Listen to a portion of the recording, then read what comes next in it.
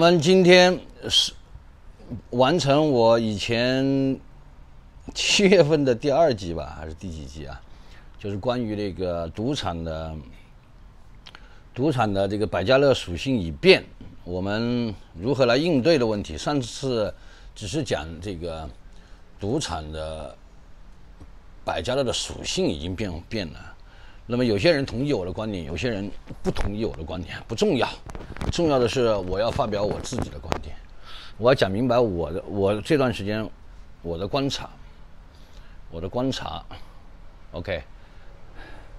那么我我我简单的回顾一下，就是说，我们我们我们我们就说认为赌场现在是以他们的大数据，依据他们的大数据，通过大数据的专家，然后大数据告诉这些专家，我们大多数赌客的这个下注的习惯，那么他针对我们的下注习惯给我们设陷阱，那么这个陷阱呢，那么下注习惯大家就明白，它不可能就是说只有一种习惯，啊，它你比如说在单跳的情况下，在这个啪啪连的情况下，两房一厅的情况下，长龙的情况下，等等等等，所有的好路，包括下山路，包括下山路这一块，我们大概会有两到三种习惯，那么也因此它就形成了两到三种排路的这个逻辑，这是第一点，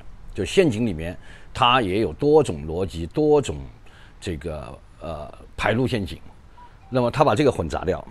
混杂在一起，给你搞成一个随机性，同时再加上它有过度的牌，再加上它还时不时给你一点好路，比如说长单跳给你个七个，甚至给你九个和十三个。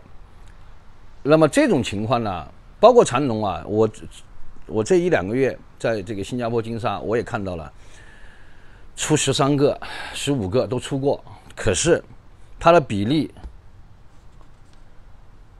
估计站在整个这个牌桌和牌靴的比例里面，我个人认为占不到百分之一，百分之一是肯定占不到，能占到百分之零点五就已经不得了了。那么呢，就是我我我我要表达的第一个观点，第一个观点就是说，我们先回顾一下，我们讲什么是这个百家乐的这个属性已变，什么是排路陷阱，排路陷阱里面分多少种，然后排路陷阱里面多少种的。这个排路和逻辑，他给你来随机，再加上好路掺杂进去，那么就形成了，就是说，整个我们现在打百家乐，我们是在打什么呢？不是通过洗牌一种随打随机性的，而是跟他两人打，你设定好的，我在测你，我在猜你设定好的牌路，现在就是这么个玩法了。好吧，这就是我要讲的第一点。那么也就是回顾前面的那一集。那么我我现在就是说要说的就是说，紧接着就说第二个问题，就是我们的对应之策是什么？那么第三个点就是说，我们这个对应之策里面，我们仍然也会形成一些问题，好吧？我今天主要就讲这三个点。那么第二点，我们就讲对应之策是什么？对应之策就是说。既然你是用这个排路陷阱给我，那么这个排路陷阱的话呢，你无外乎就是一个模块一个模块给我的。那所以说我反过来，我来观察你和对应你的时候，我也是用模块化的思维。比如说，好吧，比如说，我们遇到一个这个像啪啪连一样的，比如说啊，三个弦，两个砖，哎。跳了一个三个弦两个砖，跳了一个弦。那打弦就是我们的习惯嘛，哎，他有时候就会直接就跳了，就变成三弦两砖弦砖，好像单跳要出来了，嘣，它又给你连下来了。那么这样的话呢，它就是一个模块，甚至呢，这一个模块里面呢，就我以前讲的叫坑连坑，对不对？它可能给你一个坑，再加一连续的给你出现一个坑，没关系，没关系。我跟大家讲，就说我只要知道你是这么设计的。好，我们讲讲第二种情况，单跳，一、二、三，三个单跳出来了，第四个单跳是我们最正常的一个信号，就打单跳的话。你打进去，它嘣给你断了，三颗给你断了。有时候是什么呢？一二三，钻弦钻，你打弦的时候，它给你一颗，紧接着这个弦出来以后，掉下来，就所谓的单跳断掉，对不对？没也没问题，只要你只要你敢这么做，我就敢跟你这么打。那怎么打呢？就是我们的对应之策，就是我先就看明白了，你。大概，呃，不是大概，就是你的精准的，你的排除陷阱是怎么样的？好，我全部给你画出来列出来，有软件的嘛，对吧？你就有那个 A P P 的嘛，你把它画出来，画出来你就知道了。知道了以后呢，我就针对你的，第一，你有你要现在出来给我啪啪连，我就打啪啪连，我打一手。打完了之后，我就认为你现在开始来骗我了，你开始来给我设陷阱了，我就给你反打一手。等一下我们再讲它出现的问题啊，这一定会出现问题的。我就不断的抓你这个你设计的这个陷阱，你设计陷阱也只不过是就这么回事嘛，就这么几种嘛。那么我们也可以通过什么呢？就是我以前一直讲全场式，全场式，你可以你可以在整个场里面转转。你就看，你每你每每每一个屏幕，每一些牌，它正在每一个赌台的屏幕，那一些牌的牌路，你都可以去看。看完了以后，你你就知道了，现在它大概是个什么情况，它大概是个什么，这就是全场式的一个概念。你看完了以后，你大概清楚了，它目前的套路、陷阱，它在玩什么，我就跟你干呗。我就对着你的陷阱干呗。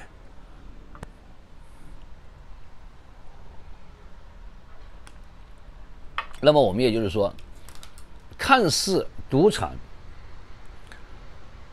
一个复杂的所谓的大数据专家设计出来的排路陷阱，我们可以把它简单化。简单化其实就是把它分割，分割其实就把它模块化。这就是我想给大家表达的第二个观点。那么呢，这一块的话呢，我说了，说我我说了，说出来了之后，哦，大家理解了，理解了以后呢，可是呢，你在精准度上面呢还是有问题的。那所以说，你就要你需要自己去下功夫，你要去了解它的陷阱。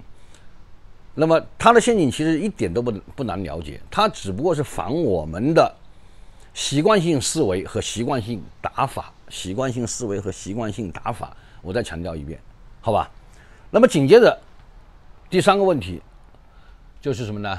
就是我们这种打法，它一样的也会出问题。出什么问题呢？比如我刚才讲的，它单跳出来三个，第四个第四颗是我们最最好的一个信号，可是它给你断掉。有时候出两颗，它给你断掉。有时候还有，哦，我我等一下我再讲一个它最恶劣的一个东西啊！我相信我讲出来，大家都有办法破的。我们只要把问题看到了。我们就一定能解决它，这大家自己去解决。我只不过还是这样的抛砖引玉，给大家我的一些观察和我的一些思考。那就是什么呢？就是说我可能我反打他的这个陷阱，你你给我设陷阱嘛，原本是我的习惯嘛，我应该是这么打的嘛。我知道你现在给我设陷阱了，我就给你反打嘛。就说我反我自己的，对我自己的习惯和下注行为。下注的这个习惯性思维，我来反打，因为这是你，你就这么反着设计我的嘛。OK，我就跟你反打。可是我也有出错的时候，对不对？刚才我讲单跳，明明是信号的，他可能给我了，那我反打一口，我就错了，没关系，继续反打。哎，可是他一下给你五个六个单跳了，那我就错两颗，我就停下来呗，我要等你下一个模块呗。那理解我意思没有？我不知道我表达清楚没有？简单的重复一遍，我通过大量的观察，已经知道你是如何设陷阱的。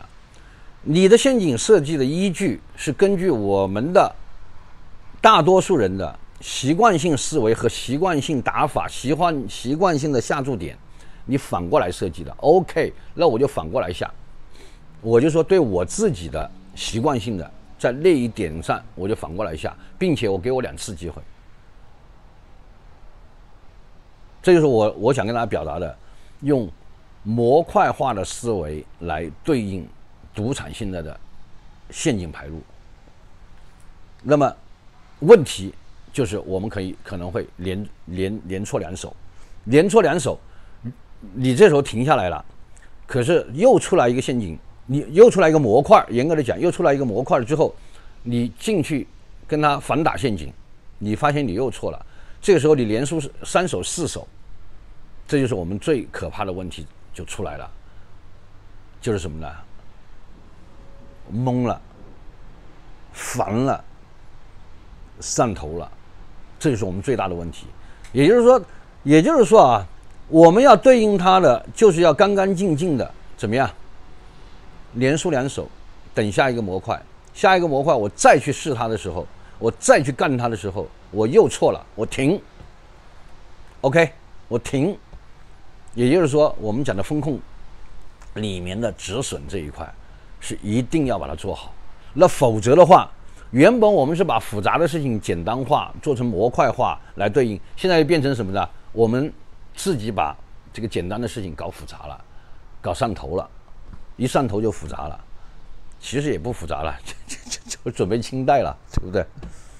那所以说呢，这个打法呢，我个人认为啊，怎么打这种技战术的话呢，我觉得呢，我们既然已经看明白了，通过大量的观察，我们也确认了，我们也明白了，我认为记账法也不是问题，问题就是在我们的这个风控里面，因为记账，因为我，因为我们这种博弈啊，这种博弈没有百分之百的精准的。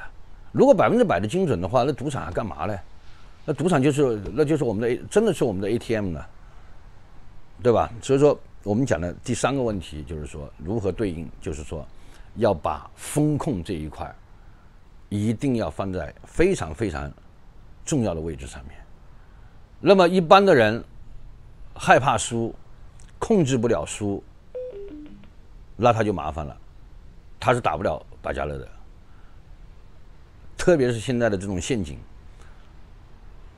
陷阱排路，在这样的属性和环境下面，我可以这么说，把你打的真的猛叉叉，广东话就是把你打的猛叉叉，好吧？那我今天呢，这个就简单的表达我的这个观点，好吧？呃，我还是重申一遍，我这我讲的所有的东西呢，都是我在赌场里面真实的。观察、思考，然后分享给大家的，好吧？大家有什么意见，或者说有什么想法，或者说想听什么，都可以在我们的这个频道的下面留言给我，好吧？那谢谢大家，一切都是最好的安排，再见。